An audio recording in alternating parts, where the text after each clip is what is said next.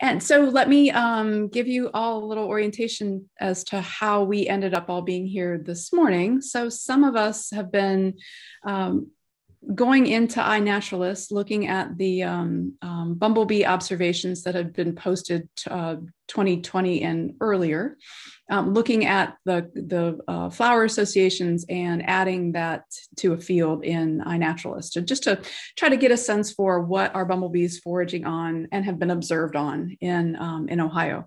And so we've been do, playing with that kind of late spring, uh, winter and late spring and so when we um, got together, uh, I think a couple months ago, and we're talking about bumblebees and foraging, and folks had questions, and I said, oh, let me get with Jamie and see if um, Jamie Strange, who is a bumblebee researcher and expert professor now at OSU and the uh, chair of our entomology department, let me see if Jamie can, Jamie can join us and um, kind of talk about bumblebee foraging, you know, what they're looking for, what plants are offering, and uh, maybe answer some of our questions. So um, Jamie was gracious enough to um, to put us in his busy calendar.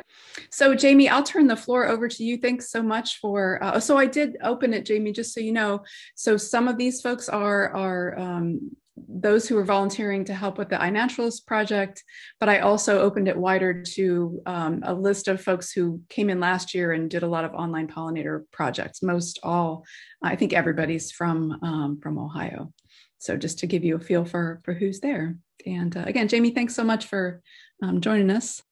Um, uh, so I have um, I prepared a mercifully short slide deck here. I've got I think eleven slides, so uh, it's not too much, and um, I'm gonna I'll just run through them. Basically, um, I'll share my screen and you can see the slideshow. But it's uh, I'm gonna touch on um, a little bit of bumblebee biology, just give you a little background, and then um, talk a little bit about some of the uh, how essentially bumblebees choose plants to forage on, and then um, you'll see throughout here there's uh, and, and, then I'll go through a, a, couple experiments, some of which were from my research group and other groups that I've worked with, and you know, uh, other just other people in the field that are doing stuff. So, talk a little bit about some of the research that's kind of ongoing and um, and happened. And you'll, I think it'll be um, useful for you, and that you'll see a lot of plant names, uh, specifically a lot of plant family names, and uh, there's a couple reasons for that, but which I'll explain as we go. But um, and then there's a few uh, you'll see some species things, and then we can then I'll just open it up and we can have a discussion about kind of I have a lot of anecdotal observations about bees on flowers um, and and where to find them. Um, and I I can try to answer stuff as much as possible. And I will throw this caveat out there. While I am an expert on bumblebees, there's a lot of stuff that I don't know about how they choose flowers, what flowers they prefer to go to, why they make the decisions they make. We've studied it many times, um, and sometimes we think we've got a handle on certain things, and other things uh, we don't. So uh, I'll throw that out there. You may hear me say I don't know, and um, uh, we'll go with that because there's a lot of stuff I don't know. So I'm gonna try to share my screen, and I want to share this one. Can you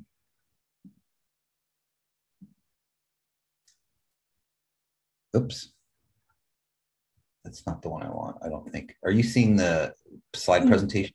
Uh, yes, bumblebees, 263 plus species. Oh, there we go. I'm going to do this and see if this helps. All right. Looks good.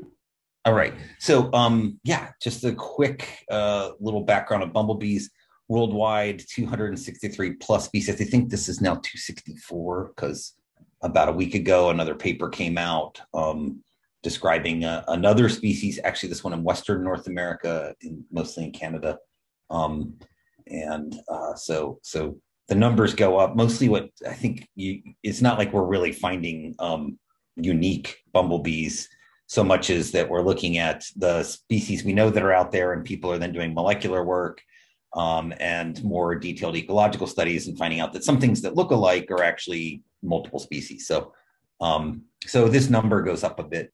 uh, these bees are largely grouped, uh, the bumblebees are largely grouped into 15 subgenera.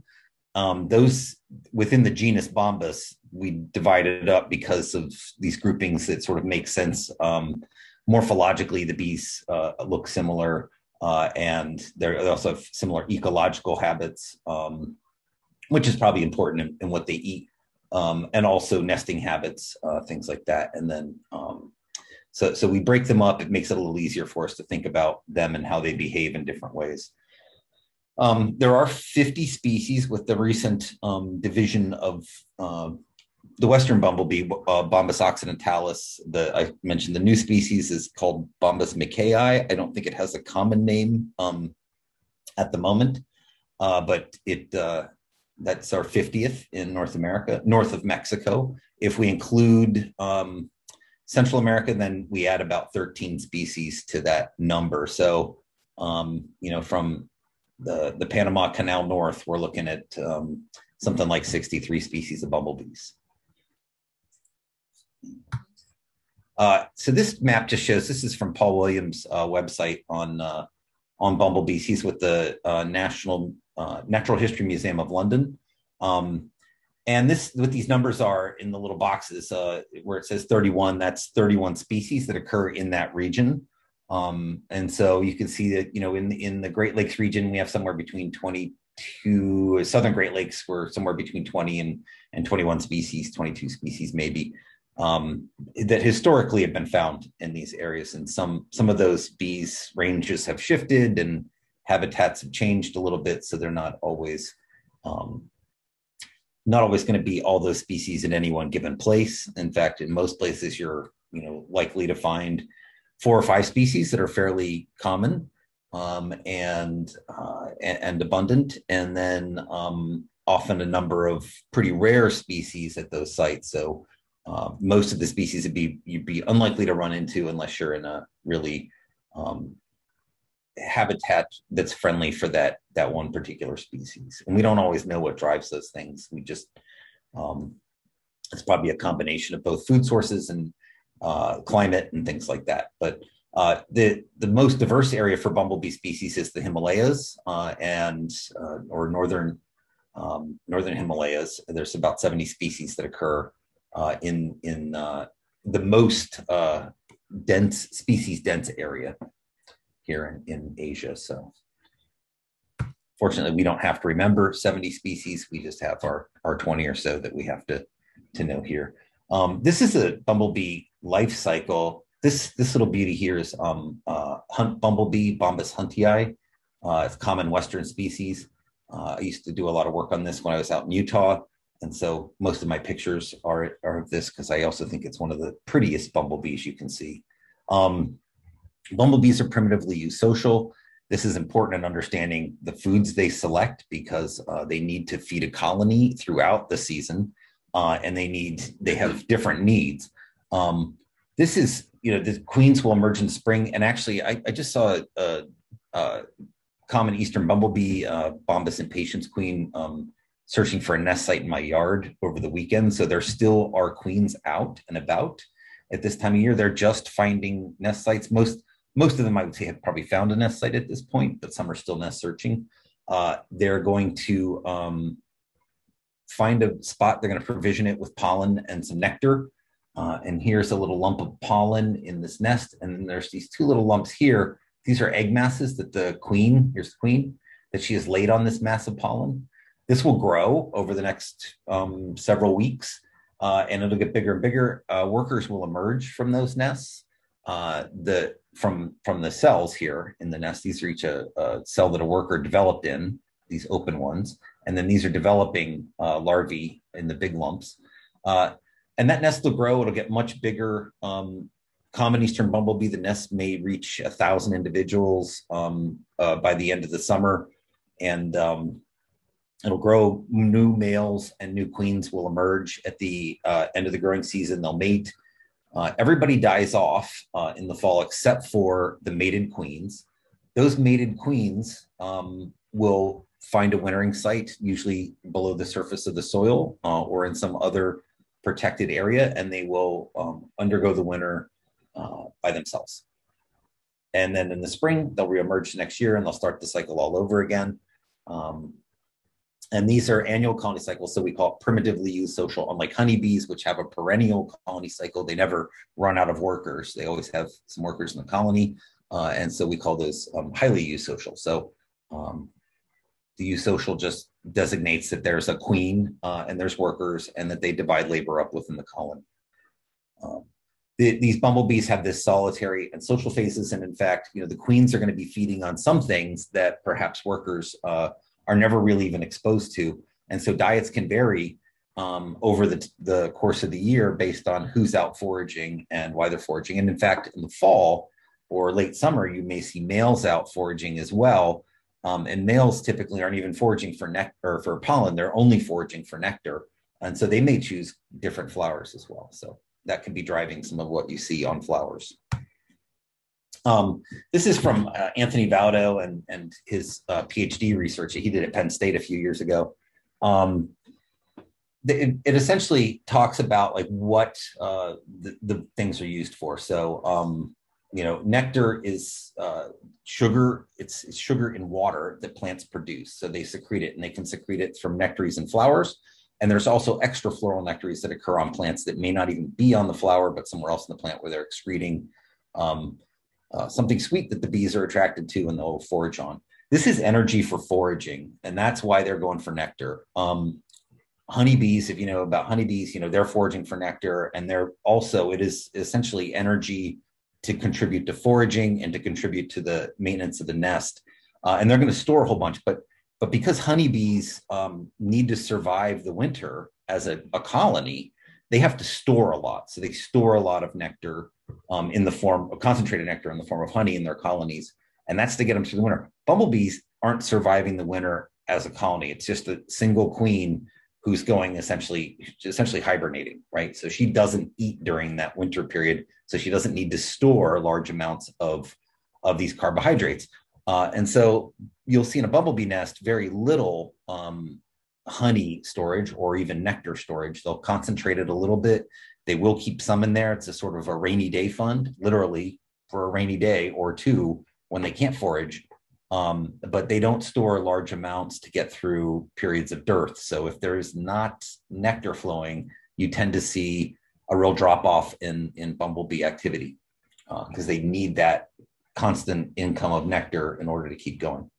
Pollen, on the other hand, is is used. Pollen is, is you know it's the male gamete of plants. Um, of and uh, you know bees have the bees in general have evolved with angiosperms to you know to take advantage of pollen both as a as moving it for pollination but also eating it uh, and they consume it mostly in the larval stages so adults will forage they'll bring pollen back they'll feed it to the larvae the larvae develop uh, pupate and then become adults um, and that's where like a lot of these micronutrients, there's proteins, there's lipids. Pollen is really a complex uh, thing. So uh, there are various reasons why um, why bees would want this. And then this rest of this is just essentially um, saying that you know phenology, nesting are important in combination with these nutritional sources, and and um, and that stable plant communities and stable bee communities are very tightly linked um, because uh, bees are needed for that pollination service and plants are needed for the food. Um, and so uh, you have, if, if you have, if you tend to have a stable plant community, then you can have a stable bee community as well.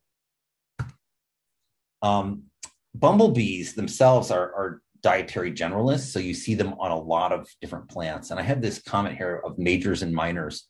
Uh, and, and what I, you know, sort of thinking about our, our grad students or rather our undergraduate students here who, who will major in uh, we might get a lot of students who major in biology, but they'll have a minor in entomology, and that's a lot of what um, bumblebees do. Is they'll have plants that they really seem to prefer, and they go to a lot, but then they go to a lot of um, other things, much in a much rarer um, circumstance. So uh, they just don't go there quite as frequently, and so the bulk of what they're bringing into the colony will be one or two plant sources at a time uh, but they're also sampling other things that are out there uh, to a lesser degree. Bumblebees are buzz pollinators, meaning that they can um, access uh, access uh, pollen from poricidal anthers. So if there's an anther that has these little pores in it where the pollen is inside of those, the bees will bite onto the flower. They'll vibrate their uh, flight muscles, uh, and that will shake the flower with this buzzing sound, um, and that'll cause the pollen to fall out of those um, porocyte, those pores on the anthers. Um, so they can access more pollen uh, more efficiently than a lot of other bees that don't have this behavior. Honeybees, for example, don't buzz pollinate. So bumblebees are thought to be better pollinators of plants that have these uh, these kind of anthers. Um, things like tomatoes. Uh, so a lot of the solanaceous plants have this. They the other thing about solanaceous plants is they tend not to produce much uh, nectar, and so um, so honeybees typically stay away from them, whereas bumblebees really like these plants and and are, are very good at extracting pollen from them. Um, and and so these are considered bumblebees are considered highly highly efficient pollinators for most uh, most plants that they visit.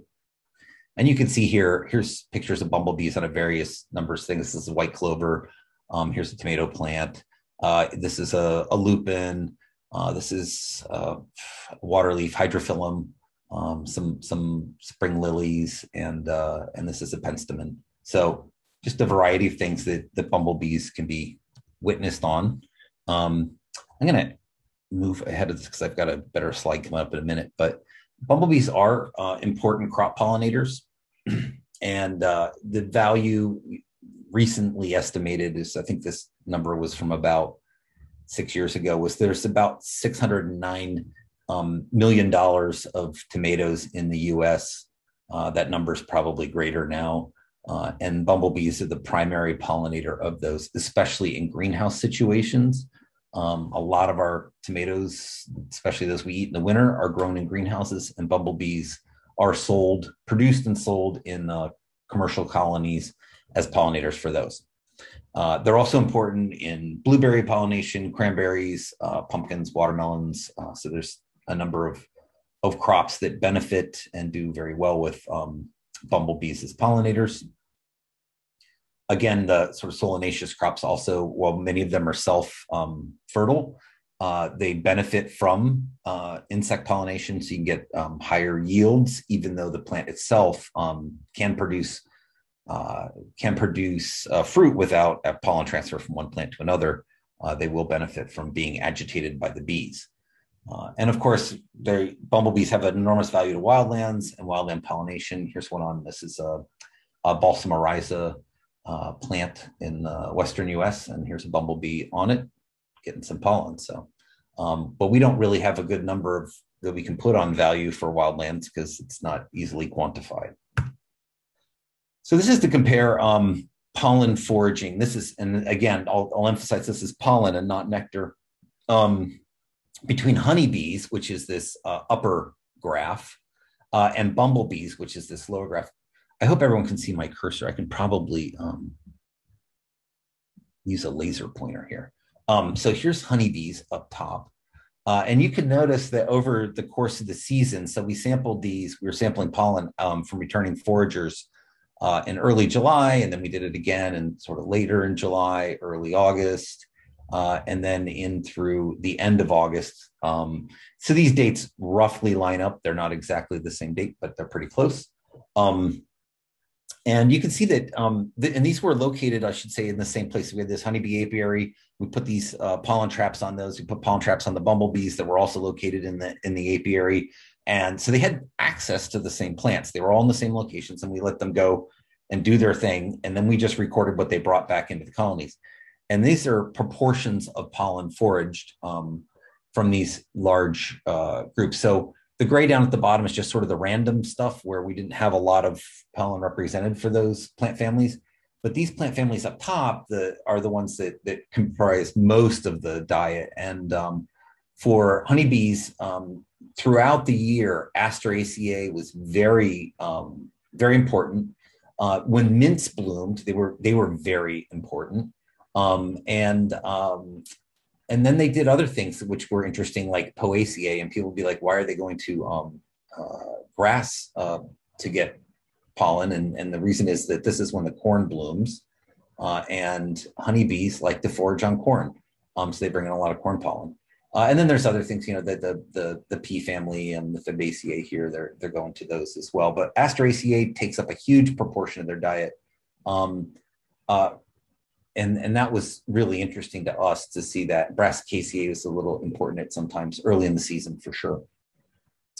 For the bumblebees, at the same time points, we can see where where P, the pea family Poaceae is just so important, or sorry, Fabaceae is important throughout the entire season. Uh, and then we also were surprised that we see um, a little bit of Rosaceae, not too much, but this is Solanaceae. So this is that, um, you know, the tomatoes, peppers, etc. That that family, the nightshade family, um, a huge portion of the diet. And um, again, this is pollen which is accessible really through buzz pollination. And so this could be native nightshades, or I should say wild nightshades, not necessarily native, um, but it can also be um, plants that are grown as as uh, garden crops and stuff. These these bees certainly had access to those, um, and so we found this really interesting that that you can see while they have access to the same things, they don't necessarily forage on the same things. There is some overlap um, here. The Asteraceae definitely, and the and the um, uh, are both part of the diet at these time periods, but the proportion's different, and the bees are selecting different things when given the, the opportunity. And this was work that a student of mine, Houston Judd, did. So he um, he was the one who did all this pollen identification. We only took it to plant family here simply because we're doing it uh, with the microscope, you know, through microscopy and not looking at the molecular um, determination of what pollen was there. Uh, so with a microscope, it's often hard to tease apart exactly what pollens you're looking at um, within a plant family because they tend to be similar. Um, some cases you can tell them apart, others you can't. So we just summarize the data here as plant families. Uh, this is another study that's part of, uh, and um, we, we, essentially what we did here was we went through old museum collections, and um, you know there'd be bees that people have caught and pinned and put into museums, and a lot of those have pollen on their legs. We were really interested in this uh, bee, which is federally listed as endangered, um, called the rusty patch bumblebee. Uh, the rusty patch bumblebee is native to Ohio. It's it's hasn't been seen in Ohio in, in a decade or so. Um, and um, we were curious what what did it eat what did it used to eat historically and does it like still eat those same things well we don't know if it still eats those same things because those studies are now ongoing um, but we took a bunch of rusty patch bumblebees that have been caught uh, throughout the great lakes region uh, in the 60s and 70s and we removed pollen from them uh, and we then did a metabarcoding uh, using the, the dna to uh, to see what sources those pollen came from. Uh, and this is you know list of sometimes uh, species, sometimes genera, sometimes families of pollen um, that we found, and um, and we looked at native versus introduced plants, and you can see that this bee tended to feed on um, a lot of different stuff. It had a pretty broad diet, some of which was native, uh, and some of the natives are really important uh, and and some of which were introduced, and things like Melilotus, um, sweet clover, which is definitely not a native, but it is uh, pretty widespread, and the bees find it to be a, a pretty good food source. Um, and so this is just to show that that, that native uh, introducing the bees are not discriminating necessarily; they're choosing a diet based on what they want, um, and it it may not necessarily uh, uh, doesn't have to be native for native bumblebees to like it. Uh, and this is one more study from Anthony Vaudo. This just came out last year. Um, and I'll, I'll, try to summarize it pretty quickly. There's a lot going on here, but essentially what they looked at was the lipid content of various pollens and the uh, protein content of various pollens. And so when you take pollen, it's got got these fats and these proteins in it, and there's a ratio of those. So some are fattier and others are more proteinaceous uh, as a ratio. And it turns out that bees, various species of bees, will select different ratios of lipid to protein in their pollen. Bumblebees are over here. This little uh, diamond is bumblebees. This diamond is Osmia cornifrons, and this green diamond is honeybees. And what this is showing is that plants and here's the plant again, plant families out here. Um, plants have different lipid to protein ratios. So this one, for example, has lots of lipid to protein, so quite fatty, Liliaceae. And if you, um, but if you look out here at say Plantaginaceae, it's it has a much higher protein to lipid content. And bumblebees tend to select higher protein content over lipid content whereas honeybees are just totally happy having this um, having fattier uh, content. So there's probably really important reasons for this, and and we the other thing we that I that we don't necessarily know is if this ratio changes throughout the season or if this is uh, one thing that's pretty static and they're always selecting for this.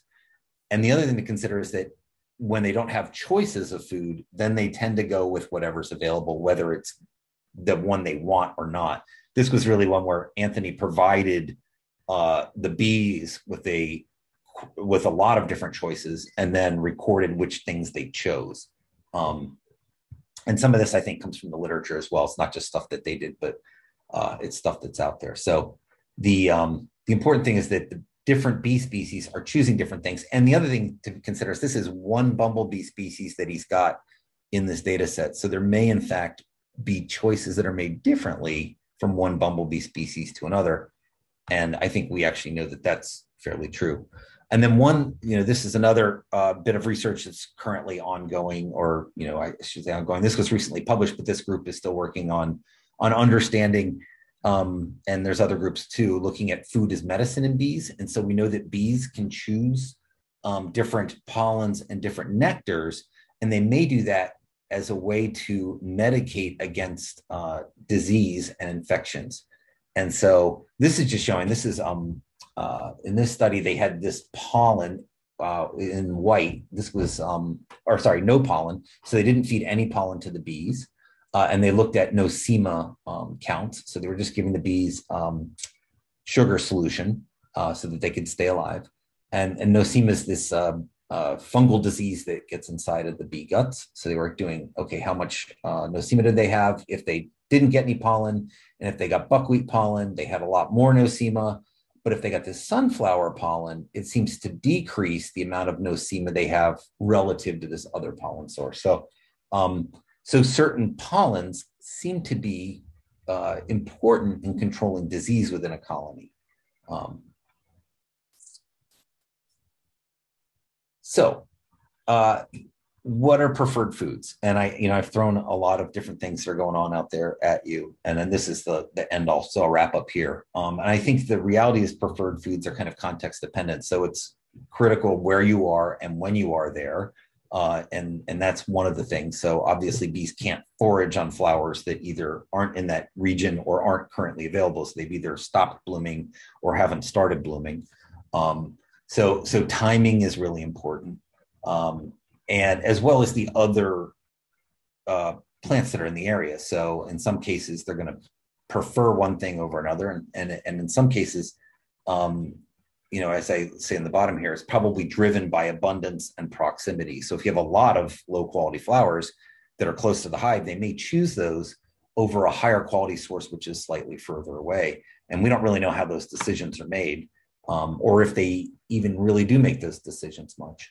But the families that we see recurring over and over again in bumblebee diets uh, tend to be, um, you know, these four are really important from what we've seen. Um, there may be others out there that are uh, that are also, um, again, contextually important. So certain species in certain environments may prefer other things that we that we didn't see in these sort of uh, more generalist um, settings. So there are a lot of things that are driving uh, what a bee chooses to be on. And, um, and anyway, with that, I'm going to stop the slideshow and I think we can chat. We got about a half an hour, or so uh, happy to take questions. Great. So, folks, if you have a question and you want to put it in the chat pod, that's fine. But we're also a small enough group. So, if you want to just type two question marks into the chat box, then we'll just, uh, um, you know, if you'd rather speak your question, we can do it that way.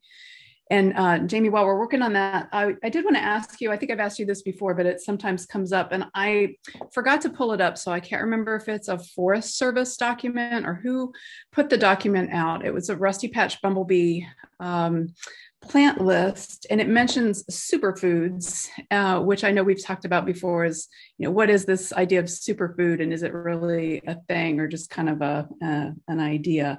Um, so do you do you remember that? Um, seeing that, Jamie, or? Uh, yeah, I do, and I'm trying to remember um, what was on it. Like what plants which, were on it. Yeah, which plants? I'll, I'll, I'll look here and see if I can um, see if I can pull it up. I know I mentioned it before to um, uh, Karen Goodell and uh, Randy Mitchell, and they're like, mm, not really so sure what this idea of uh, the superfoods uh, was. Oh, good. And then uh, um, Kathy has a question in the chat box too. That. Okay, so can you comment on practice beekeepers taking all the honey produced by honeybees and giving them corn syrup? Do you think some honey should be left for them?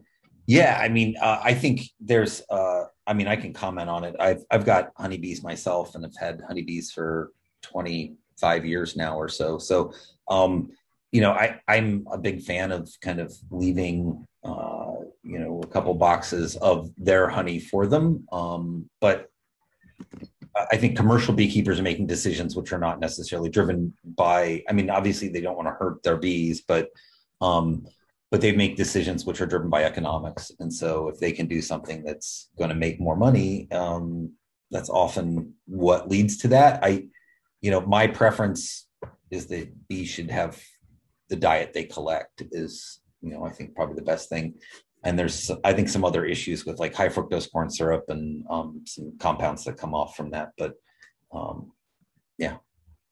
I don't, I don't know if that answers the question kathy. Yeah. Jamie i did find the um, let me go this one then bob will take your question but let me i did find this um, forest service reference here and it does say that bumblebee superfoods and or immune building plants so, do you have any? Uh, is, this, is this bee snake oil talk here, or do we actually have uh, bee immune building plants? Yeah, well, you know, so that's so it's interesting. I think when you do, so we know that diet's important in in immune response, um, and and for bees. So that one uh, figure I showed, I didn't go into it too deeply um, with the with the sunflower versus the buckwheat pollen it shows that even though sunflowers, um, even though the bees that are eating sunflower pollen have slightly higher nosema levels, they actually um, have a lower death rate, uh, death hazard ratio than than bees that don't get any pollen. So having some pollen is important in maintaining that nutrition. You can tolerate a higher uh, pathogen load is if you're getting good nutrition, and that's sort of the take home message with that is that that actually having a good diet is important. Um, you know, you could have a really sub uh, substandard diet, not have any pathogens, but you're still going to get sick because um, you need the good food. So yeah, I think there are. You know, there's also some other things like there's uh, a lot of flower, flowers that produce um, like tobaccos and things like that that produce um, uh, nicotine in the um, in their nectars, and so um, there's also some evidence that bees that have infections will preferentially forage nectar from these plants that are excreting compounds that you know have again like these are probably um, impacting those pathogen levels uh, and we think that's why the bees prefer nectars that have things like and, and there's artificial things they've done like adding caffeine and nicotine and these compounds tend to kill things right? Um, so at least at high levels. So the bees seem to be knowing that and going to those to uh, help control it. So there is some idea that there are these foods that actually help them. Um, the, the there are nectars and pollens that actually help them. Um, so there may be superfoods. I don't know that we know enough about any of these things at this point to really say like, well, we should just plant a whole bunch of this and it'll make the bees um, healthy. Uh, Bob uh, typed out his question. So, do adult bumblebees eat pollen, or do they collect it only to feed to their larvae? So, yeah, Bob, they do actually um, eat pollen. They ingest a certain amount of it. It's not a lot, uh, not, not re- you know, relative to uh, larvae. So, the larvae, most of what they eat is is pollen.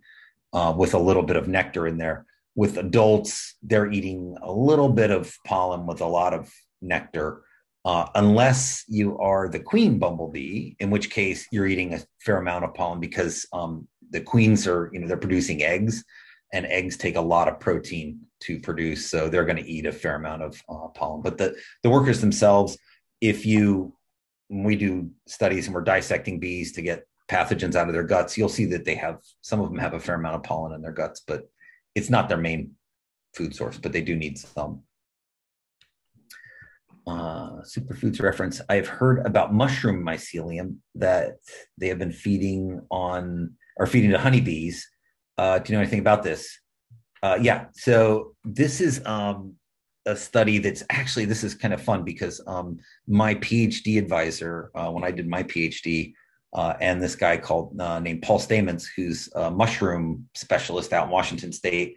They've been working on this uh, mushroom mycelium uh, thing for a while, and there may be other groups that are doing it too, but I know about what they're doing. So they've been taking, um, and I can't remember what mushroom it is, but there's uh, one of the mushrooms. They they actually add this mycelium to the uh, to the sugar water when they feed the bees, and they show lower viral loads. Um, so, you know, honeybees have a bunch of viruses for those of you that don't know. Um, and um, the, the bees that get the mycelium have a lower viral load than bees that don't get fed the mushroom mycelium. Again, is there some significant compound in the mycelium, or is there a nutritional benefit from having mushroom mycelium, which have you know proteins and things in them, uh, and fats that that maybe are helping the bees nutritionally? So I think I think that's still uh, out for debate, uh, what it is about the mycelium that's helping the bees, but it does seem to have an impact on bee health. Uh, Jamie, you mentioned seeing a, a, queen out recently, and um, sometimes I get questions from folks about queens that are seen, you know, even a, a month or um, six weeks from now. And um, sometimes just kind of crawling around. Can you talk about what sometimes happens to those um, those queens? Yeah. So um, yeah. So so a couple things. Uh, there are you know a number of species, and some of them will emerge early in the season, and some emerge slightly later in the season from hibernation to form their nest. So you do see tend to see a long period of time when queens are available across all species. A given species may only have a month or so of queen emergence that that it's out. And then you have some individuals which tend to sort of you'll see queens out very late in the year. And if you look at them on flowers sometimes you'll see that their wings look tattered. I say late in the year so we're talking like late june early july. Um, so it's too early for the fall queens um, but it's kind of late for the spring queens um, and so the tattered wings is always a good sign uh, when you start seeing them out very late that these bees are not going to nest. Um, and sometimes, as you said, they'll be crawling around, and that can happen again with excessive wing wear. The bees start get to a point where they just can't fly much anymore. Um, but there are there is one really kind of cool thing. At least I think it's cool because I love parasites. Uh, but there's a parasite of bumblebee queens uh, it's a nematode that gets in and it actually gets in. It's called a queen castrating nematode, but what it does is it affects the queen's behavior such that she won't start a nest. So if if the queen's uh, infected with these uh, or parasitized by these nematodes, she'll just fly around and forage and forage and forage. Eventually, she'll fly back to the um, the her overwintering site where she was in the soil, uh, and she'll crawl into the ground like she's going to overwinter again, and she'll die and then the nematodes erupt out of her uh, and they colonize more of that overwintering site with the hopes of um, infesting another bumblebee uh, that may come there to winter. So um, I personally think that's one of the coolest things ever that a little nematode can get into a bumblebee and control its behavior. Um, but uh, so sometimes you'll see these queens out, and these aren't aren't uncommon nematodes. So I think in studies we've done, it's you know somewhere between two and five percent of queens tend to get infected with these uh, every winter. So uh, we do see those. Uh, then Kathy had another question: Are all bumblebee populations in decline, or just certain species? Why are they in decline in certain areas? So yeah, so certain species are much more affected than others by whatever's happening in the world. Um, and so yeah, some species, rusty patch bumblebee is, comes to mind as one of the the big ones. Um, there's a, a, a, couple other species uh, that are also like the uh, American bumblebee, which is um, Bombus pennsylvanicus, is also one that's uh, in decline in a lot of areas. There's probably a lot of factors that drive this, Kathy. Um, some of those are we know are related to diseases uh, and diseases that you know, frankly, humans are responsible for moving around. Uh, as we move bees commercially, we tend to move uh, everything that infects them. Um, and so, whether those are, are honeybees, honeybees and bumblebees share a lot of diseases, so we can have impacts that way. Bumblebees are, you know, have been reared commercially, and we know that there are diseases, disease outbreaks that have been traced to bumblebee uh, rearing facilities. Um, so those could be sources of things, and then you know, just anything that we're moving as we move. Um, crops or plant material around things like that we we can move um, we can move bees and their diseases with them so um, so those diseases one of the main drivers of bumblebee um, disappearance and um, much, much like it is with honeybees so if you look at honeybee uh, losses a lot of those are driven by you know or viruses or nosema you know so there's all these things that that kind of impact bees um, and it's the same with bumblebees uh, that they get impacted by a lot of diseases as well. Uh, and then habitat loss is pretty critical for bumblebees. You know unlike honeybees we can't pick up the colonies and move them of not of all the species anyway. Um, so if if somebody you know if you have a bumblebee colony that's developing and someone comes in and and um, uh, you know paves over a parking lot next to it and takes out a bunch of floral resources the bees they just have to deal with that. So they, they are they do tend to be susceptible to um, more susceptible to short-term uh, habitat changes than say uh, than than honeybees would be if we can if we can move them and, and again pesticides same thing. Like you can't close up a bumblebee wild hum, bumblebee colony at night um, where you might be able to close up your honeybees when the when the farmer is going to spray. And so uh, they they are kind of exposed to a lot of things. So habitat, pesticides, pathogens, climate. Uh, we have evidence that climate change is is pushing uh, populations uh, in southern populations are disappearing. Um, we don't necessarily see a lot of movement to the north up up in Canada, but um, there's there seems to be some some reactions to that as well. Uh, and and certainly in the western U.S we have evidence, some really cool studies done looking at how bumblebee populations are moving up mountains as the mountains as it gets hotter. So they continue to move up to stay in this climate zone that they're comfortable with. Um, so there's a lot of stuff doing it, uh, affecting bumblebee populations. We estimate about 20% of the species of those 50 species, about 20% um, in the United States are in decline, uh, or in North America are in decline. So um, yeah, there's there's a number of species that are at risk, uh, and a lot of projects looking at monitoring them and rehabilitating them.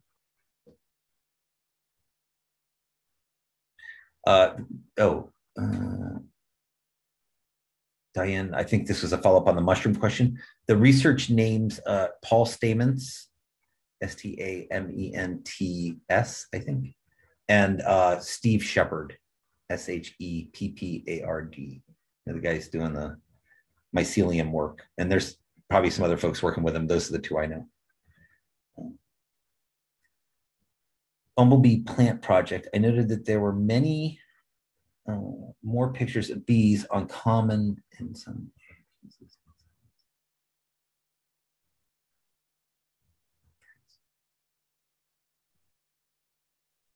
Uh, yeah. So the question is: Is are, when you see a lot of these on sort of um, non-native species, in some cases invasive plants, um, is this uh, is this about abundance or is it about preference? And I think you know it's a great question, Petra. I think you're. It is largely abundance is really important. So um, where you see a lot of a concentration of plants, it, whether those are uh, invasive or native um, you will see the bees tend to congregate on the common plants. Um, and I think bees, just like us, are very uh, susceptible to the habit of finding something they like uh, that is an acceptable food source and returning to that over and over again. Um, so they will exploit uh, a plant until it runs out. um, and uh, and they and we know that bees are highly trainable um, to to different uh, plant colors or to different flower shapes. And so once a bee work learns how to work a flower, they will tend to go back to those similar flowers over and over again. Uh, uh like I said, until it runs out. So yeah, if you have abundance, high abundance of things, even if it's you know not a native, um, they'll go to it. Uh, and and um, and I think when you look at these, like often there's a native component. Uh, so you may have a, an invasive plant and, and a native plant. The bees will just simply, you know, if they have say two two plants that are you know clovers and one's a native or maybe maybe a, uh, like a lupin or something one's a native and one's an invasive that they don't care right? To them they're both just lupins and once they learn how to work one lupin flower they'll go to the other one just as easily. So whatever becomes more abundant is the one that they'll choose. Um, so yeah i don't think that has to do with preference for invasives and non-natives as much as it is just availability for them and so I think you I can think easily. If, if, I can, if I can jump yeah. into Jamie, I think it's also one of the biases on iNaturalist and why it's a good observational tool, but it's not a research tool, right? So it's what people commonly see when you have your phone out, when it's nice, when you're out, you know, ten feet from your car. So it's common plants, um, easy to photograph. So we're not getting a lot of the high canopy visitation you know a lot of that is missed on iNaturalist. So it is just kind of you know what's easy when i have my camera out and it's nice. And i we grow a lot of purple cone flowers. And so we we get that a lot. Um, one of the plants that I think is so cool from um, the from the um, Randy Mitchell and Karen Goodell's uh, Bumblebee survey uh, over two summers is that crown vetch came up, and just what Jamie was saying, like crown vetch, we would never say that crown vetch is a a good bee plant or that we would see a lot of bumblebees on crown vetch, but because they in part were serving roadsides because the funder was ODOT, right? And they wanted to know who's foraging on roadsides. There's a lot of crown vetch on roadsides. There's a lot of crown vetch. And if there's not a lot of other food, you know, you're on the interstate and all there is is McDonald's, I guess, you know, you're getting chicken McNuggets. Yeah, that's it's like the great analogy, you know. Um, you're not going to drive five miles off the interstate if you're on a trip, right? You're you're going to go to what's right there. Um, and uh, even if it's maybe not what you'd want it's what you have so you take it. Um yeah i think and then that's you know and that sort of goes back to this idea of like restoration and and like planting things that um you know that, that are that are both native but also that are desirable for the bees. If you have big enough patches of those you see bees on it. Um and so but one or two isolated plants they may not choose to go to that frequently because they just have to learn that and by the time they learn it it's done blooming. Um, and, I, and I would say like I think the canopy issue is also another uh, interesting one, Denise, because um, you know I, I, know you can see a lot of bumblebees foraging um, on on a number of trees, but they're really hard to photograph uh, when they're when they're 15 feet up. Um, you can see them, but you just can't get a good picture of them. So. Uh, there's another question. I sometimes see medium-sized bumblebees in the spring and fall. Could these be queens? And how do you tell them from workers? Uh, so the real thing with bumblebees is queens are just bigger than workers. There's no, with a few exceptions, there's no real, um, you know, physical difference that you can see with your eyeball other than size. Um, so th- that's you know that's uh, yeah. So medium size. There's a couple possibilities um, depending on what you mean by medium size. Uh, the, the queens are going to be larger than workers, but they also um, will sometimes, some species, you have slightly smaller queens uh, than others. And so those can be a little confusing if you have some big queens out and about, and then this other species pops up. You might be like, oh, is that a worker? It's a bit smaller. Um, so that could be what you're seeing is just a different species where they're not quite as big as the other ones. Um, and then, you know, in the fall, the other thing you might get are males. Sometimes males can be pretty big. Uh, and um, but those would be ones you would see in the fall that would be a pretty large uh, individual out and about that would be bigger than a worker. Uh, do bumblebees go back to same overwintering sites? Yes, uh, we we think pretty much that's uh, what happens with most species. So um, the, the so so that's why these nematodes are uh, you know effective at finding hosts is because the bees tend to choose the same sites. we have no idea how they choose these sites. Um, there's some speculation that they like north facing slopes versus south facing slopes. And, um, uh, you know, because people found them in road cuts and things like that, where they're like, oh, well, they're always on the north facing side, but not the south facing side. And, and you would think that would be because they would want less sunlight directly on the soil to get them to heat it up too early in the year, you know, when the snow melts and stuff like that. But, um, but yeah, that we don't really know how they pick sites. What there's is there a soil type they like? Is there uh, some kind of tree cover, not tree cover?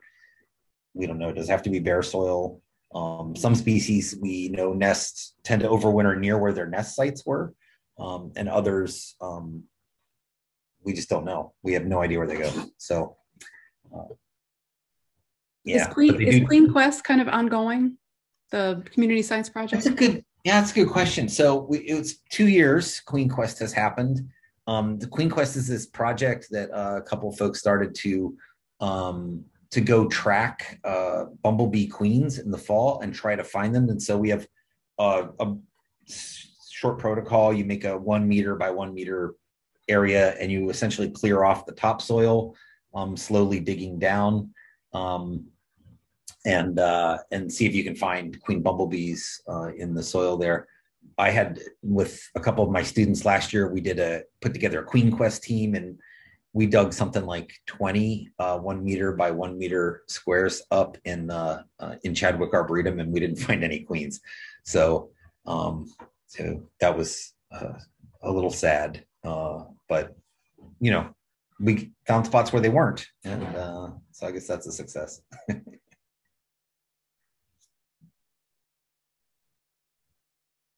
Other questions anybody has? This is your chance. We've got a few minutes left. Oh, there's one from Donna. Discovered a bumblebee nest in an old wren hanging bird box.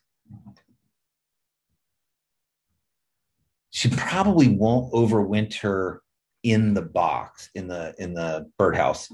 Um, they'll probably leave in the fall. The new queens will leave, mate, and then find a spot in the soil.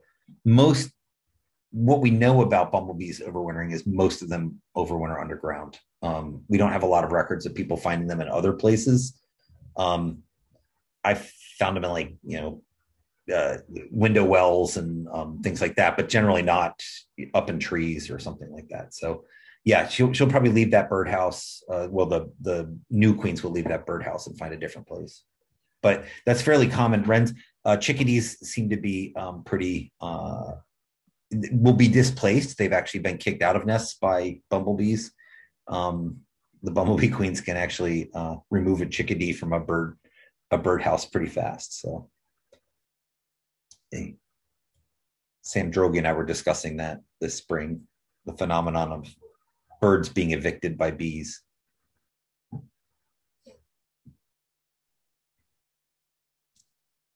Other questions? I'll um, I'll ask you a question that I've gotten uh, twice actually in the last couple days, Jamie, which is about moving bumblebee colonies. Uh, a couple people who have found them near sidewalks, uh, you know, close to entryways. They're doing work or don't want them there, and um, um, how successful um, have have you had any experience moving them? I understand they're qu- pretty difficult to relocate. They can't. Yeah, they can be. They can be really hard to relocate. Um, the so I, but I do there was the guy who used to i sort of went and worked with him a bit one summer because he was really good at this he uh he actually had a business where he would remove bumblebee nests and then um, and a lot of them he was getting out of birdhouses. Uh, that was a lot of what he did was remove them from people's birdhouses for them. But he would take them out from all sorts of spaces. He, the one issue is like if they're in the ground, and sometimes they'll get you know they'll nest um, in old rodent burrows, and um, I'll say the one I tried once to like dig one out, and um, it I could never find the nest. The tunnel just kept going and going and going, and then it went below um, this concrete pad, and I'm like, well, I'm not moving that. So, uh, so it depends where they are. Uh, if they're uh, I've taken them out of, you know, like a, again, like a window well or an irrigation box. Um, or, or someone once had one in their um, hot tub control box control panel and i was able to get that one out pretty easily um, if they're if if they're in a nook or a cranny like that, you can often pull it out. But if they're below the soil surface, they can be really hard to get out and successfully move. Um, so one thing we have done is you can you know modify the entrance so if they're coming up right next to a sidewalk you might consider putting a pipe in that leads away from the sidewalk um, so they have to come up through the pipe and then head out but um, yeah they can they can be really tricky if if uh, if they're below the ground your chances of success are pretty low at moving them All right. Well, we're uh, right about on time, and I want to be respectful of your time, Jamie. So, um, folks, thanks for for jumping in. Jamie, thank you so much for spending an hour with us, uh, guys. I know Jamie would appreciate a, a thank you, a shout out in the chat box. Really appreciate your time and your expertise, and we'll see you again on uh, on Friday at uh, uh, at ten for the Bee short course. Yeah, you're welcome. Thanks for having me.